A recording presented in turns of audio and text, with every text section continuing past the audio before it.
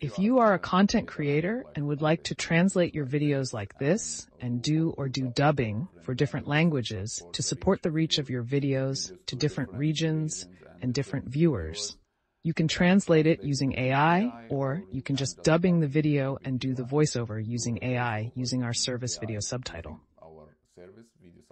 Come. So if you would like to learn more, or if it's not only if you are a content creator, also if you are like a normal user, you would like to translate your favorite videos.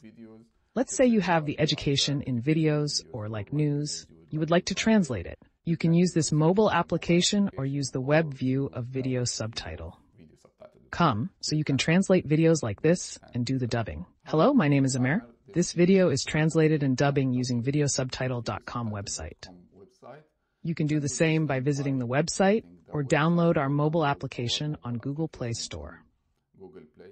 It's called Video Subtitle Generator. Okay, once you download the application, you can sign up for free trial, so you can translate up to two to three videos like every week for free. But if you need more, you need to sign up for premium account. So let's demonstrate how you can translate videos to any language. Once you sign up and log to your account on videosubtitle.com, you can import the videos from your mobile application or from your laptop. So once you import it to your mobile application, you have this option to create video subtitle. So you can create a video subtitle. Okay, to translate the video, you have two options. Even like, you let the system decide what language the video is already spoken. So if you know the language I prefer, just you select the language. I know this video language is Arabic. So you can just select uh, Arabic uh, Jordanian as an example, then translate it to English. But if you don't know what's the language, you just keep it as auto. And this will allow you, the system will just pick the language and translate it to any language you want. So let's say I selected the language as auto and I want this video in English. So select English. You have this option to enable dubbing or disable dubbing. So if you disable the dubbing, that means the video will be translated only as a text. So you can download the VTT file and you can edit the text and edit the subtitle inside the video.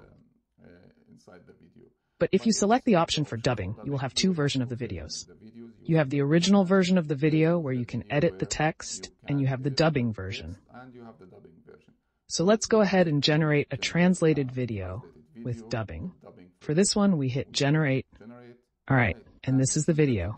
After a few seconds, you can see I have two options. I can watch the video as an original, okay? And I have option to watch the video as a dubbing version. When I watch the videos in dubbing vision, that AI agent will be talking on behalf of the same user. And also I can see all the translated text here. If I found something that is not like what I expected, or I need to change the text, I can just click here and just change it.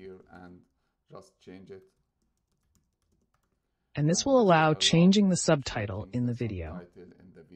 And after changing, I just hit save and this will save my new subtitle edit. Also, if you can just, you can edit the, the subtitle timing so that, for example, this subtitle I wanted to start like from here. Or I can just extend it so you can just also edit the subtitle segment. Start and end. Alright, so after reviewing everything, if I like just download the videos with hard subtitle or dubbing, I just hit this download button and this will allow me to select many options. If I need just subtitles, subtitle to show at the bottom, I just go there.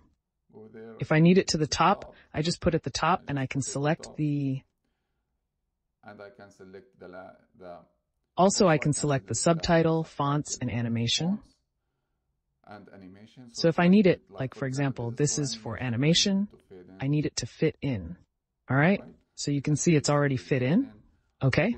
And also you can select whatever font you want to do. Alright, this font is good for me. And font color, I like yellow. Alright? Once I'm ready and happy with video output I want, I can just hit create, and that will generate video with text on it. And that will generate video uh, with text on it. And also, if you select the dubbing option from there, that will have the voiceover in English. Like let's say if this video in Arabic, you will have voiceover in English. English.